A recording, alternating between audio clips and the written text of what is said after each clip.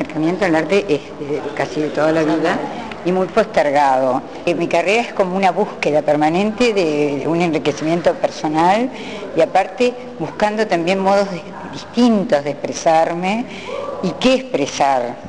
Me di cuenta que siempre es el mismo hilo conductor. Yo trabajo con el, el, yo más íntimo del ser humano, lo más íntimo del ser humano.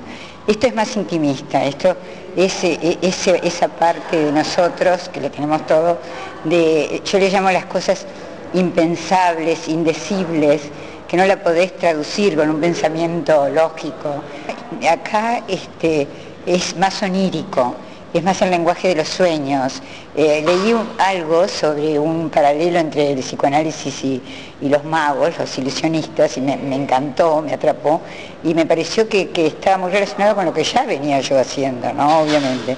Te digo, mi trabajo no es ingenuo, es un trabajo que está elaborado con, con metáforas, con símbolos, con un lenguaje simbólico. Y usé los poemas de Mariela Negro porque dice, ella hace el mismo trabajo que yo, pero con la palabra. Puede ser considerado muy, eh, si mirás estas fotos, después vas a ver esas, puede ser muy relacionada, casi autorreferencial, pero no quiere ser autorreferencial.